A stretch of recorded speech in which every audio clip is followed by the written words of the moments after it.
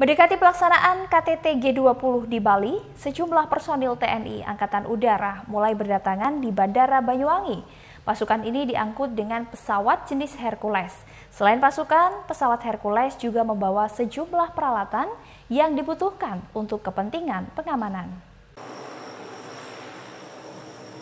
Ada dua unit pesawat Hercules tampak landing di Bandara Banyuwangi pada Jumat sore.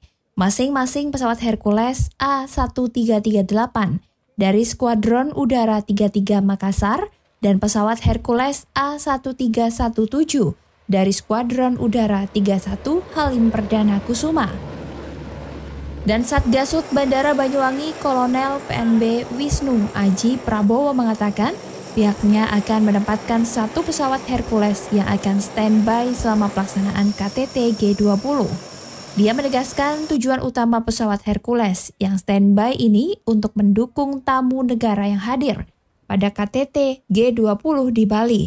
Namun, saat ini pesawat ini masih difungsikan untuk pergeseran pasukan, sebagian yang belum tergeser atau tergelar.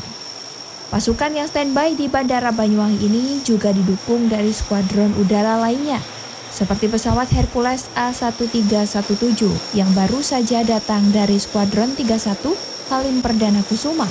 Pesawat Hercules ini akan mendukung perbantuan dalam rangka menggeser pasukan yang saat ini berada di Malang.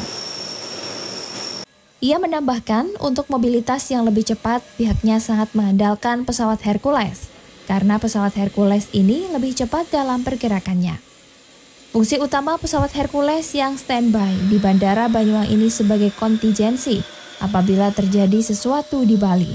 Pasukan dan pesawat yang ada di Bandara Banyuwangi ini sifatnya standby, dukungan untuk mengangkut tamu-tamu delegasi negara.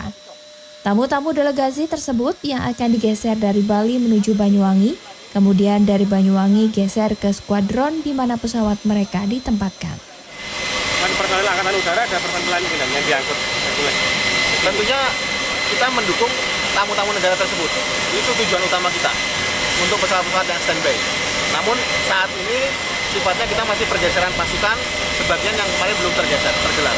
Namun untuk semuanya hari ini sudah tergelar di Bandara Banyuwangi tersebut. Jadi bahwasanya nanti delegasi yang akan di sifatnya hanya delegasi tim AJU e, dari B20.